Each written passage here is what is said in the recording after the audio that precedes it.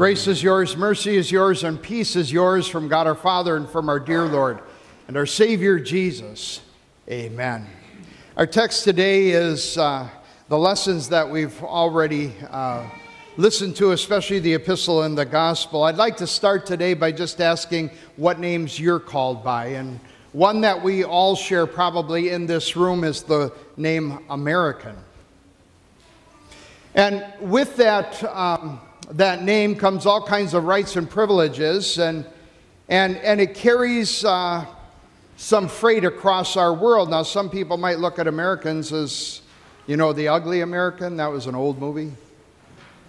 Because sometimes our behavior isn't always that good. On the other hand, people very often welcome the Americans and American government into their, their world because they know that the American government often comes to places that are in deep distress.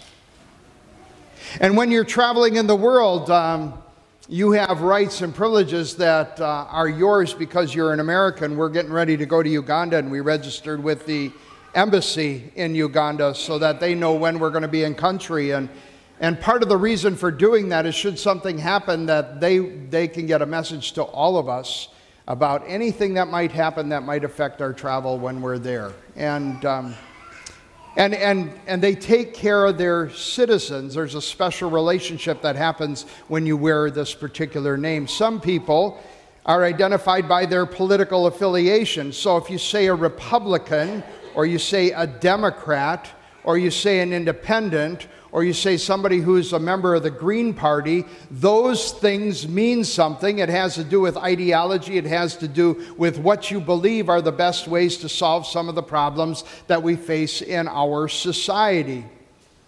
And people can have different opinions about what's the best way.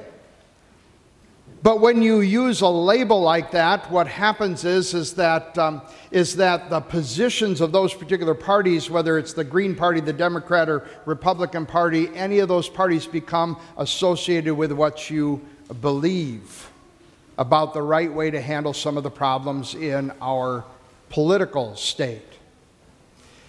Many people are identified by their love for their teams, right? So, um, you could say, Are you a Wisconsin Badger? Well, you either are because you went to school at the UW Madison campus, like my father, brother, and son, right?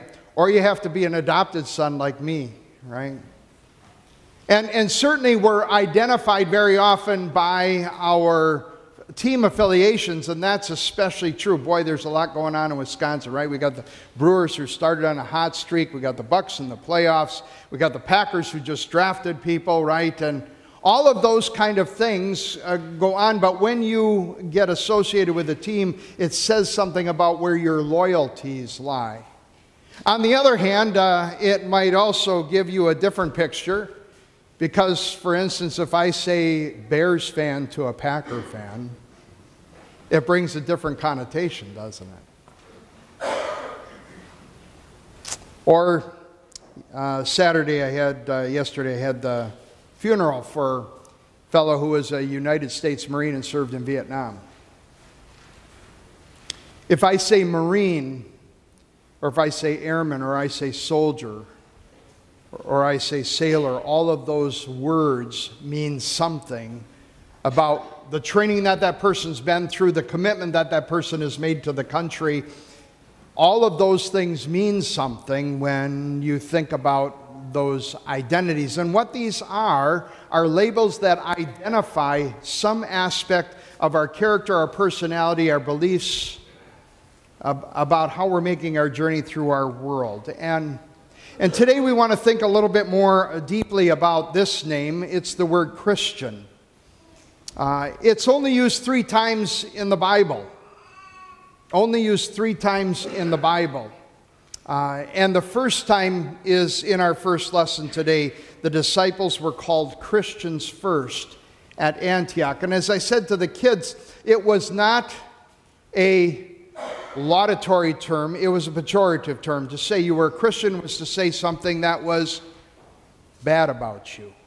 Remember, the Christians were persecuted in the early ages. And, and, and today, unfortunately, very often in our culture and our society, in the United States, the word Christian does not carry a good connotation in a lot of people's minds. David Kinnaman, who works for um, the Barna Research Organization, does a lot of area, uh, research in the area of faith, asked the Mosaics and the Busters uh, what they understood or how the name Christian uh, affected them. Um, you can see half of the people, that's the light kind of uh, uh, orangish uh, color, uh, said it had a bad impression. Now, these are mosaics and busters, so these were people who were born, as it says there, between r- roughly 1965 and, and, and 2002. If you ask that population of young, younger people, um, what is your opinion of the, somebody who's called a Christian, it was, for most people, 50% of the people, a negative impression. The second largest area there is neutral. Well, I don't even think something good or bad about somebody who carries that name, but you notice that little sliver of green are the only people who, who, would, who responded by saying it means something good. What does that tell you about our culture and about where we as followers of Jesus are in it? Well, you'll hear uh, things said like this I've got nothing against God, it's his fan cl- club I can't stand. And in fact, it was um, some, I, I, couldn't remember which one it was, somebody told me last night. It was C.S. Lewis quoting G.K. Chesterton, who said uh, something like this The best argument for Christianity and the best argument against Christianity is the life of a Christian. What does that mean? Well, that means that unless you and I are living consistently as followers of Jesus Christ, the name Christian becomes a pejorative rather than a laudatory term. And this is not something that is new. As I said, when this was first given to Christians, it was a negative, uh, uh, uh, uh had a negative connotation.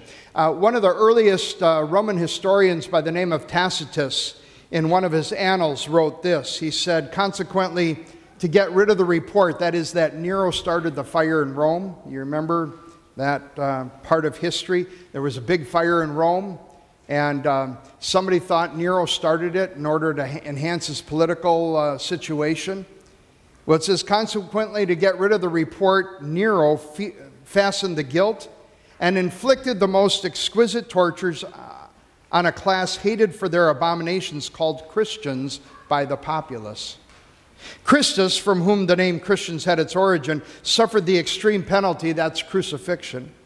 During the reign of Tiberius, at the hands of one of our procurators, Pontius Pilatus, and a most mischievous superstition, thus checked for the moment, again broke out not only in Judea, the first source of the evil, but even in Rome, where all things hideous and shameful from every part of the world find their center and become popular. What was that mischievous superstition. It was Christ is risen.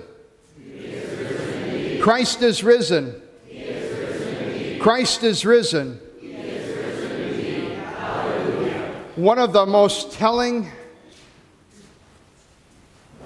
evidences for the power of Christ's resurrection is the fact that in the face of this kind of opposition, the Christian church continued to, to grow that followers of Jesus continued to multiply. And one of the neat things about Tacitus's uh, account is it gives us a completely secular uh, verification of the, of the details that are in the gospel accounts that Jesus was crucified, that it was done at the hands of a man by the name of Pontius Pilate, and that there was this extraordinary superstition that he rose from the grave again that lit the fire uh, for the spread of Christianity in those early days. But again, to wear the name Christian then was not a very positive thing. And we might say, well, why isn't it positive now? Because um, somebody gathered together some of the contrasts that people see when they see somebody who carries the name Christian. And this is what they said Christians say that God loves unconditionally, but then they often love other people with a set of conditions. Christians say Jesus came not to judge the world, but to save it. But Christians are known for telling everyone about God's judgment for their sin. Christians say that God is the creator of the world and love the world he created, but Christians very often are those who are seen to act like they couldn't care less about what happens to the planet. Christians say, love the sinner, hate the sin, but they love to tell sinners that God hates their sin. Christians say, as Jesus said in the gospel lesson to this, uh, t- today, by all, by this all men will know that you're my disciples, that you love one another. Uh, we say that, but we're mostly known for unloving behavior towards people we don't agree with, or judgmental behavior against uh, even fellow Christians. I had uh, one young man who would fit into that. Um, that category of those who maybe had a little bit of a negative impression on Christianity, um, who thankfully has come around. But he, I asked him, I said, well, why did you, why did you kind of fall away from God for a little bit? Because he said, I was raised in the church. He said, because, you know, he said, one of the things that I had a hard time reconciling in my brain is that I would, growing up in a small town, almost everybody went to church. I would sit in church with people on Sunday morning and we would talk about uh, you know, what God has done for us and how He loves us and how He's called us to love each other. And then we'd go for brunch in the local cafe, and everybody would be gossiping about everybody else. And the very thing that uh, we did right after church didn't align with what everybody said we should be doing in church. And and so there are these inconsistencies between what we say we believe, what we say we value, what we say Jesus would have us do, and the way we live our lives. And that's why so often people judge us as hypocrites. Now, uh, to be fair, I like to say, especially when you're a part of a Lutheran church that believes in this thing called confession and absolution, that we're anything but hypocritical because what's the first thing we do when we come to church? We confess that we screwed up again. And, and, and we admit that we don't always live in line with our behavior, but this is a call to remind us that when we carry the name of, of Christ in this world, other people are judging what they think about Him based on what they see in us. There are only three times in the Bible, as I said, where it calls us Christians. And the first two times are by people who are not Christian. The first time is in the city of Antioch, where they, for the first time, called those who follow Jesus Christians. The second time is in the words of. Um, Agrippa to Paul. Now, if you know that story, Paul is before Agrippa on chi- trial, and, and he uses it as an opportunity to testify to what he believes in Jesus. And this is Agrippa's response. He says, Do you think that in a, such a short time you can persuade me to be a Christian?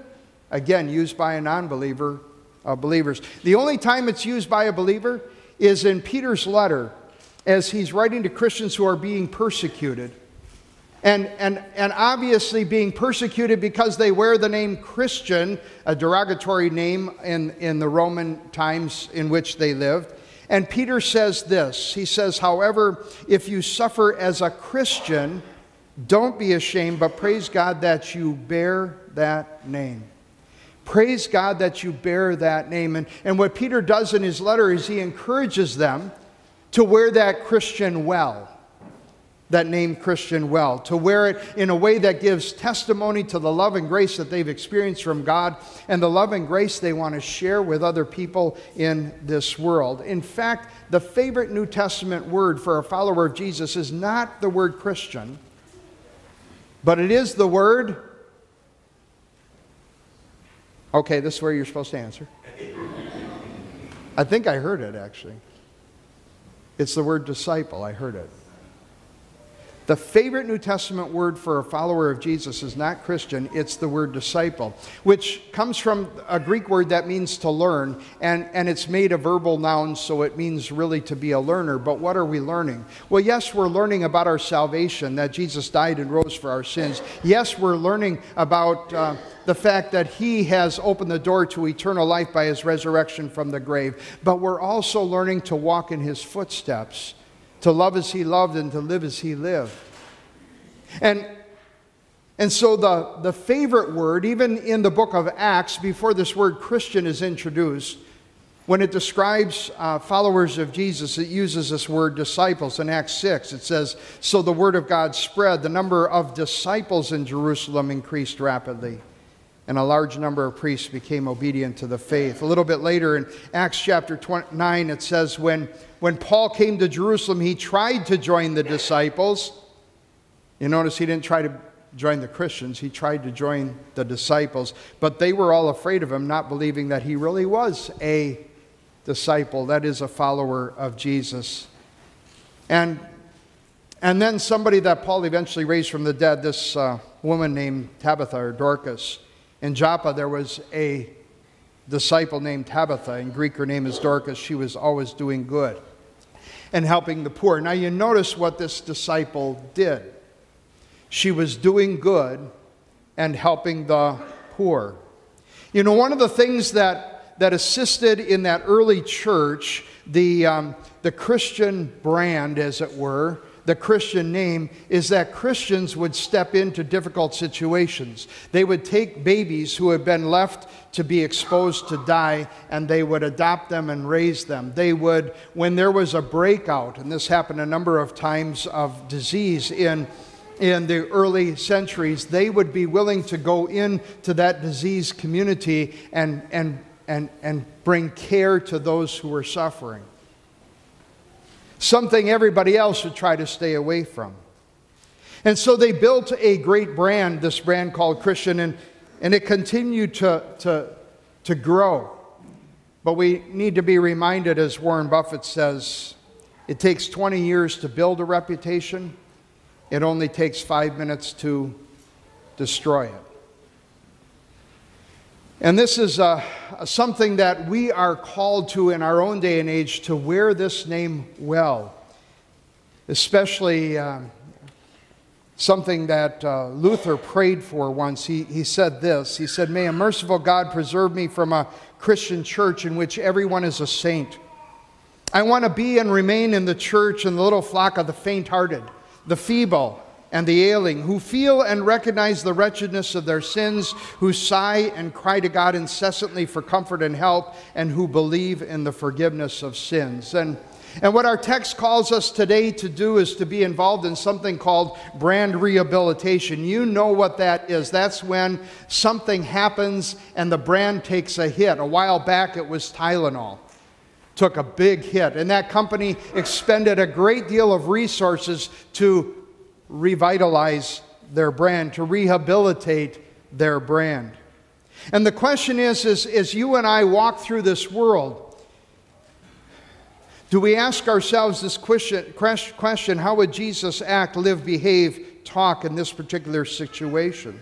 Because Jesus had said to his disciples again on Monday, Thursday evening, right after our gospel lesson today anyone who believes in me will do the same works I've done, even greater works, because I'm going to the Father. Now, he wasn't talking about dying on the cross, only he could do that work.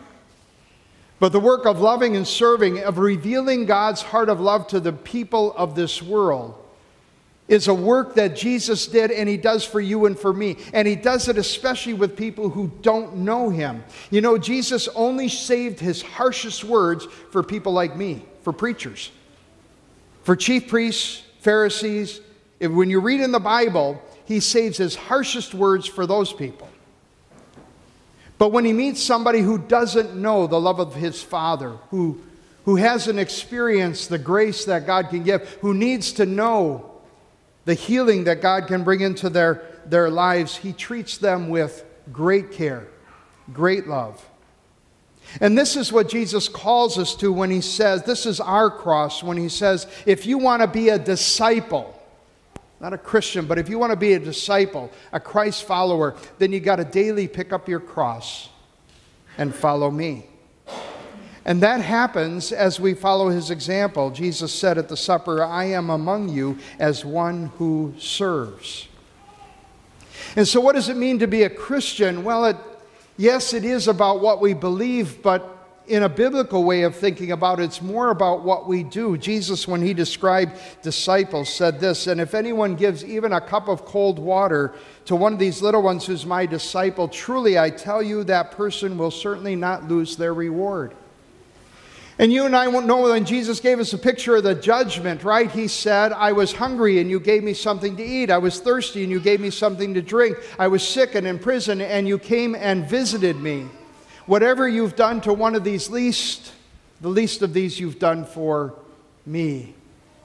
And he invites us to pick up our cross, to ask that question each and every day What is it, Jesus, you would call me to do today to represent you to the world, to my coworkers at work, to my children, to my parents, to my brothers and sisters, to my wife, to my husband. What is it that you're calling me today to do? To love you and, and to love them in the way that you would love them. Because you see, when we ask that question, then we're, we're helping to revitalize this brand so that that little sliver of green can grow, so that people look at those who wear the name Christian or Christ follower in a positive way. I think Maya Angelou, in one of her poems, caught this pretty well. This is what she wrote When I say I'm a Christian, I'm not shouting I'm clean living. I'm whispering I was lost, but now I'm found and forgiven. When I say I'm a Christian, I don't speak of this with pride. I'm confessing that I stumble, and I need Christ to be my guide when I say I'm a Christian. I'm not trying to be strong. I'm professing that I'm weak and need His strength to carry on. When I say I'm a Christian, I'm not bragging of success. I'm admitting I have failed and need God to clean my mess. When I say I'm a Christian, I'm not claiming to be perfect.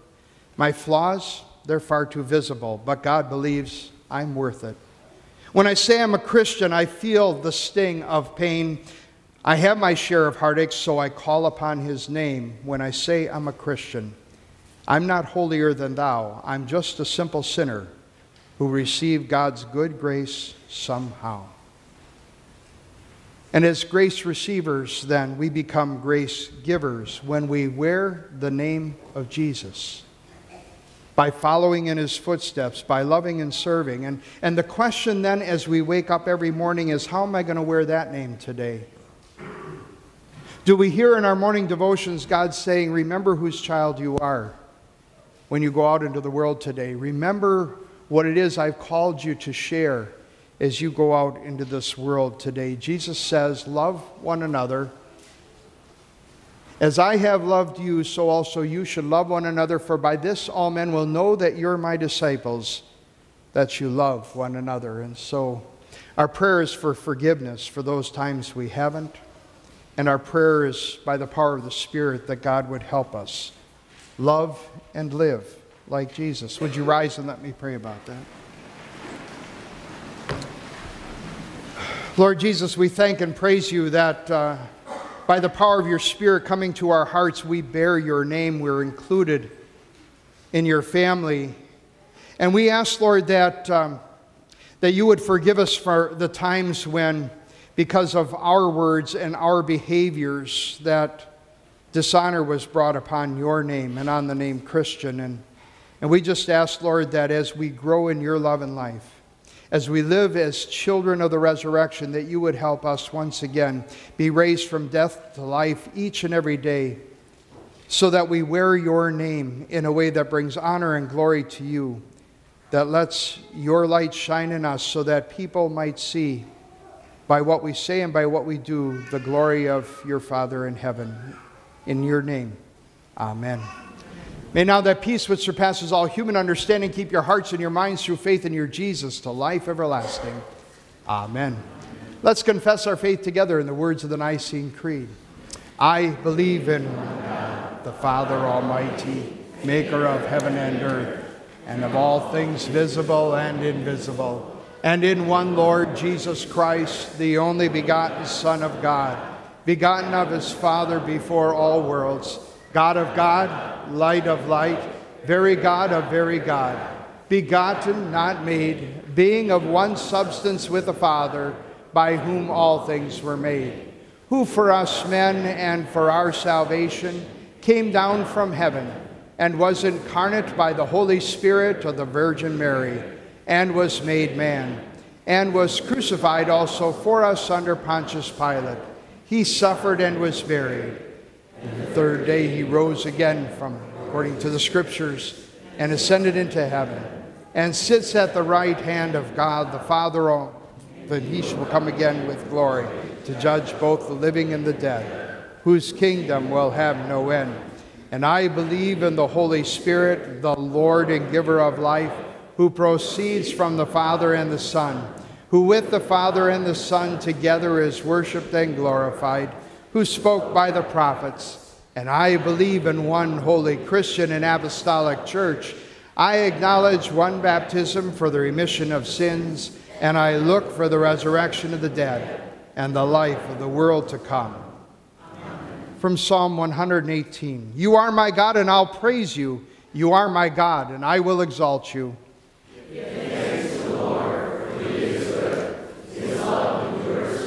Please be seated as we give thanks to the Lord, both with our offerings and with our voices as our offerings are gathered.